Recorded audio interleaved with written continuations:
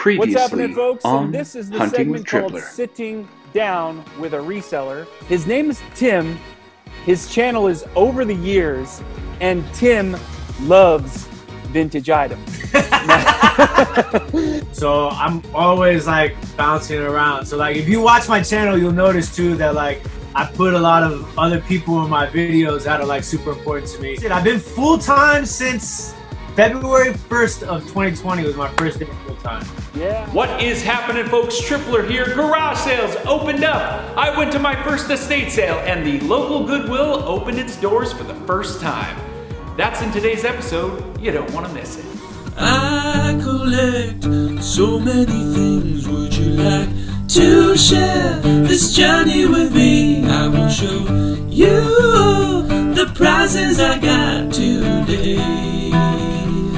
So come along with me, come on and join in the chase. Yeah.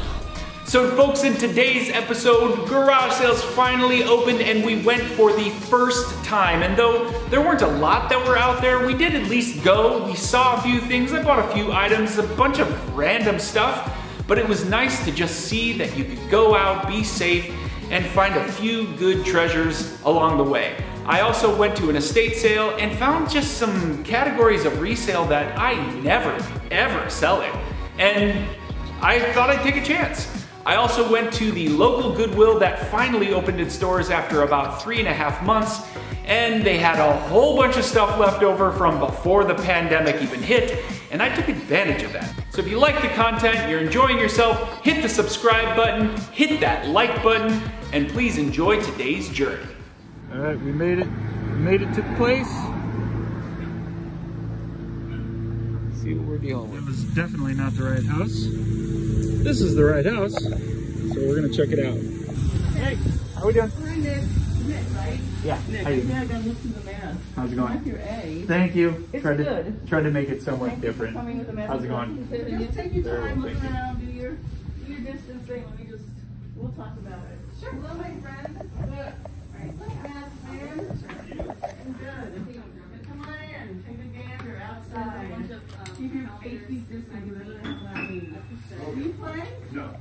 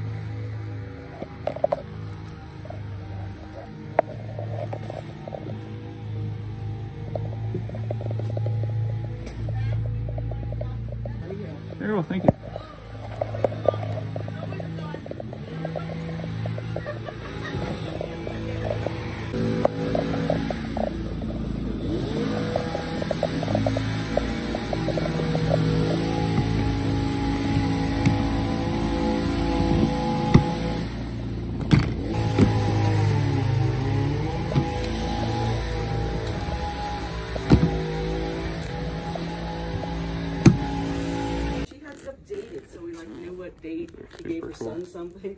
She, you know what the funny part was? When the word gets out that Amy had a sale during the pandemic, I don't get into you know all this.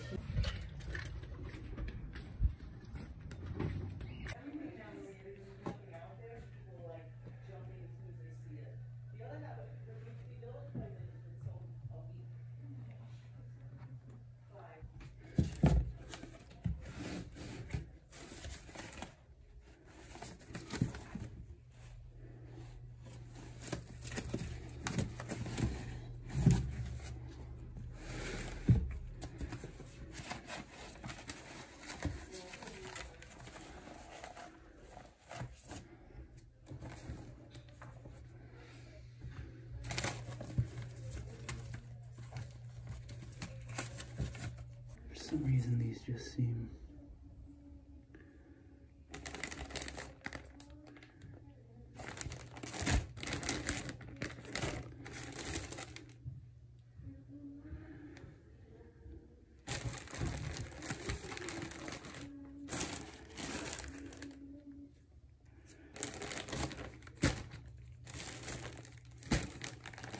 These are the right price. I'm gonna pick these up.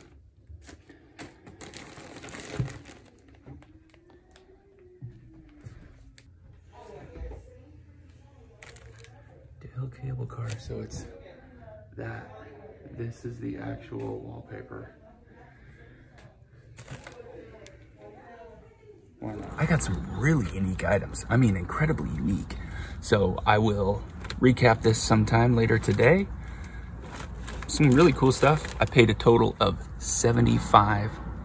The estate sale pickups were so random, and a lot of what you'll see here, I don't typically pick up. So this was kind of an attempt to try something different, look at uh, look at the inventory as an opportunity to buy cheap items and see if these categories sell for me. In particular, these handmade, I think they're basically tablecloths. Um, they just looked so unique and, and done so well that I couldn't help but give it a shot. Uh, for this entire lot that you see here, I spent a total of $70. So right out of the gate, the Sony Handycam is going to give me all of that back and then some. Um, in fact, I just sold this exact model this week for $159. I have a case that I can include with it. It's got a good charger. So I've tried this, that works. It's got the actual remote, which is fantastic. So that right there, I know I'll get uh, with shipping on top a total of probably $175. So that pays for everything. Those Converse, which are huge, looked old, vintage, made in the USA. I know that there's some uh, decent market for those, so I'm just gonna give that a shot. Again, the hand towels, this was a reprint of an old um, 1908 Sears catalog. So, and then a, a 19, 1908 Sears Roebuck catalog. Interesting enough, I know very little about, but it was kind of a throw-in. This looked awesome. It was just sitting there. So I thought, couldn't help myself but wanting to grab that. You have a couple of Audio Technica microphones, usually maybe 15, 20 bucks for those a piece. Um, I got this Apple charger, which usually 15, 20 bucks depending upon the model. And this is old vintage wallpaper from 1971. It's rolls of trains. So it's a set of trains kind of all lumped into, looks like it's two rolls of wallpaper. So all of this looked interesting. I'll try my best to guess at what I'm going to make on some of this. I'll put some eBay comps up on the screen for you to take a look at, but for the most part, this is really a test. And since I knew I was going to get my money back on the Handycam, I, I felt confident in giving the rest of this a shot. All right, guys, we're at the warehouse. I've got someone who's going to take a look at a whole bunch of extra inventory I have and see if we can strike a deal. So let's see if I can record some of this. Um, How about the only PlayStation 3? Yeah, those are PlayStation 3s and they're, I mean, they're in, they're, they all turn on. The problem is, is that it's either disc, that's not true. One of them does not turn on. Um, and the disk drive, I think all of the hard drives are in every single one of them. So um, I've got that. I've got these. Um, I don't think you're interested in TVs. I've got a couple of iMacs. Um, so I've got, I've got lots of stuff. Um, I'll show you the, uh, the Bose stuff too. Okay, how about, how about 800 everything? Ah, oh no, you're killing me. I will come back to buy more tips thing for you. Because today I- 800. Um, hold on, hold on. If you do that, give me one pair. Give me, just give me one pair. Okay. Uh, let me figure out which one. So I, I keep this, and you keep that, Okay. 800. and that's 800. Okay, yeah. All right, I'll help you. Set and all those stuff. All of this Yeah. and all of this 800. for 800. all right, all right, fair man. That's a good deal. I like pay. I like PayPal more. Wow, dude, look at you. Okay. Perfect. Okay. You've done this before, haven't you? Tom's gonna buy all of these. Yeah. Tom's killing it today. All right, man, you got him. That deal with Tom went really, really well. He was super cool, and I had been sitting on that inventory for over a year, probably like almost a year and a half. So between 18 and 12 months, somewhere in there. They were both items that definitely had value. And if I took the time to test everything, buy all the pieces that were missing, and just complete it, there was four or five thousand dollars potentially there in profit. And I definitely made money on the original purchase. I probably spent about between four and five hundred total on the Bose products. And the Guitar Hero stuff, when I was buying it, I probably spent on all that Guitar Hero stuff maybe $50 total. So my all-in price there, let's call it maybe 550, even 600. He bought it all for $800. So I was able to finally get rid of some unused inventory, took care of a massive headache, and uh, and made a connection. Waiting to go in to the sweet Goodwill. Wish me luck, everyone. But I think it's just the same stuff they had two months ago. in without masks. My mask is coming off. We have to take your temperature. If your temperature is over 100.4, I'm afraid I'm not allowed to let you in. Okay? We have uh, lines, uh, uh, directions on where to go. We're wiping down everything. Everything. We're trying to keep everybody safe as well as ourselves. So I hope it's not going to be a bad experience for you guys. Goodwill blasts music so loud that it's impossible to actually have any audio playing inside of the store. But I came in and I always go straight for the media and the electronics, and they've kind of moved things around a little bit, but I literally went right for this game. I mean, Mario Kart was sitting right there. Now, this store actually prices the games all flat price of $5.95. So it's hard to make some other games work, but that was an easy one to grab. I then went over to the sports section, and they were probably sitting on these items well before the pandemic hit. But I basically grabbed all the weights they had, and I just started loading them up. I, I think I grabbed two or three different sets here, and they were all well worth the five to ten dollars I paid for them. Good morning.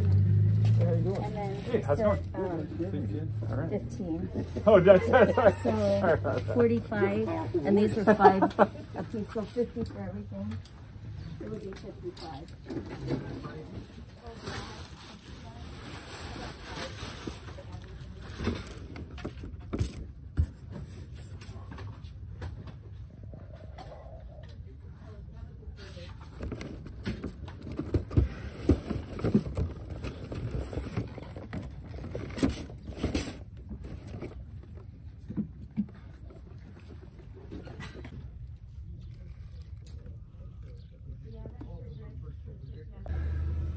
Started with the Star Trek alarm clock from 1994. And then I picked up this vintage Girl Scout dress, which is in pretty good condition. And then this Boy Scouts of America with original hat. Pretty sweet. So that's what I got. Not much else.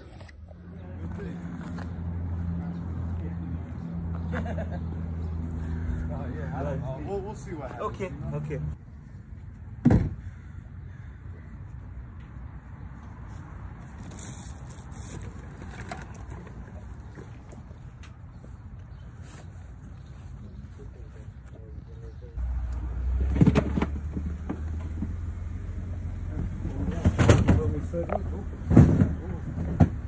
It's full of goodies is gonna have to be shown later. But looks like some cool stuff. Paid 20 bucks for everything. This grab bag was a lot more expansive than it appeared. I had a whole bunch of Star Wars action figures, got a lot of watchers on it. There were some tech decks in there, got a lot of views, not a lot of watchers. A bunch of accessories that I've got one watcher on, a bunch of views. You guys remember Construx from the 80s? Well, I have the Purple Alien for 745. A bunch of Squinkies, never heard of them, but I've got about 10 bucks for those. And then I've got a 2005 G.I. Joe Duke. And last but certainly not least, the Marvel Legends lot, and I have 50 bucks on that, two watchers, and a lot of views. The potential profit on this is about $130, and I actually think I'm probably going to sell everything. In this lot, I also had a Sony micro cassette recorder, and I sold that for $23. I also had a lot of Power Rangers action figures, and I sold that for $15. I've been to three total garage sales so far. Two of them were pretty trashy. Uh, the one that was halfway decent, uh, where I got the Star Trek alarm clock and the Boy Scout and Girl Scout uniform. Eh, that was just average. so, not doing so great, but hey, we're out, and that's kind of nice. And I see yet another yard sale sign, and that makes me so happy. We're gonna check this one out. Let's do it.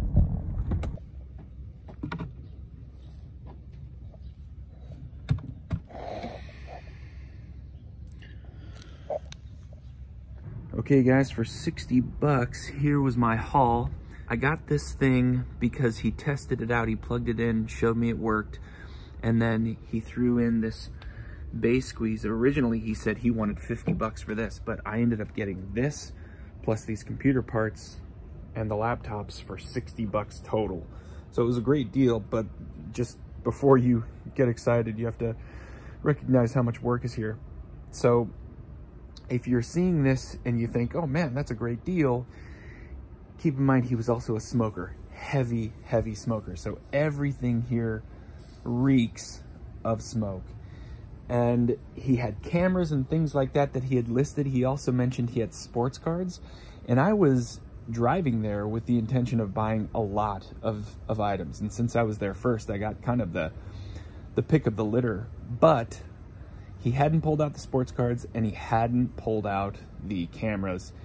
And after I'd smelled the lot here, I, I immediately said, there's no way that a collector of cameras or a collector of sports cards would buy them if they have a smoke smell to them. So I basically said, I'm going to pass on those.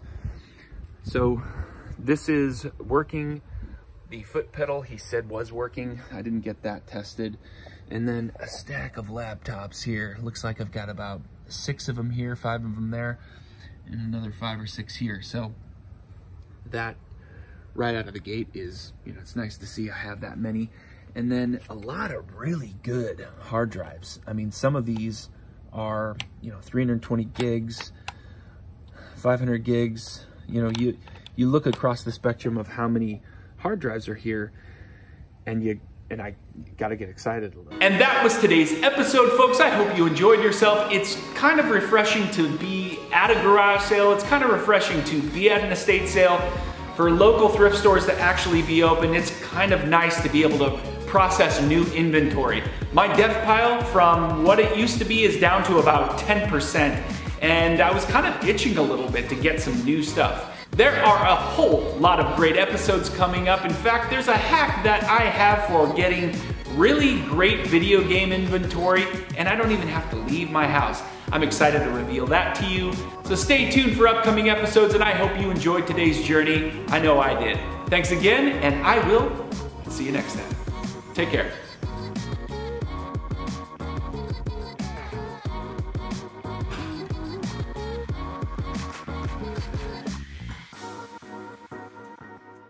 Next time on Hunting with Tripler.